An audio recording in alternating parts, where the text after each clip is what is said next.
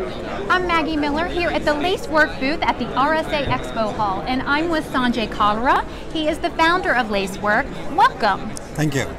So, first off, just tell us a little bit of some of the emerging cloud security threats you're seeing right now. The biggest change in the cloud is that how fast development takes place. So, cloud actually was all about like speed, scale, and automation. And if you look at security, was never built for speed or scale or automation.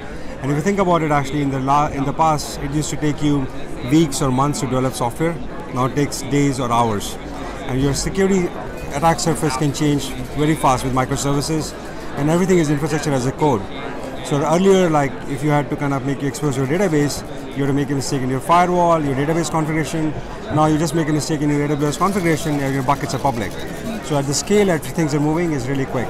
Yeah, and your booth has been so busy during the show. What are some of the concerns and challenges you're hearing from customers and attendees?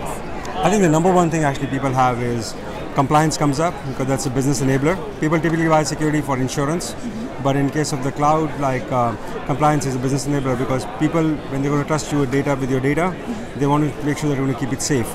So compliance actually is one way for people to companies to ensure other companies that they're going to keep their data safe. The other piece actually is the visibility, like because the challenge actually is that um, there were there are two words. There's IT and DevOps. The earlier, as I said, the IT role was to build speed bumps and checkpoints to slow down things. Yeah. But today, the word, if the IT does that, developers is going to bypass. So today, word, I kind of almost believe the IT has to be in the business of building bumper cars with guardrails.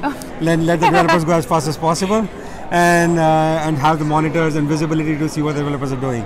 So that's uh, I think that's probably one of the, the two top use cases we're hearing from customers. And I love those analogies, those are hilarious. Well, tell us what are some of the trends you're seeing here at this conference? So I think the number one thing I see actually is that um, I see the number of companies and number. It's a big market, but the number of key companies keep on growing every year, and they're really, really like companies solving really small problems, uh, features.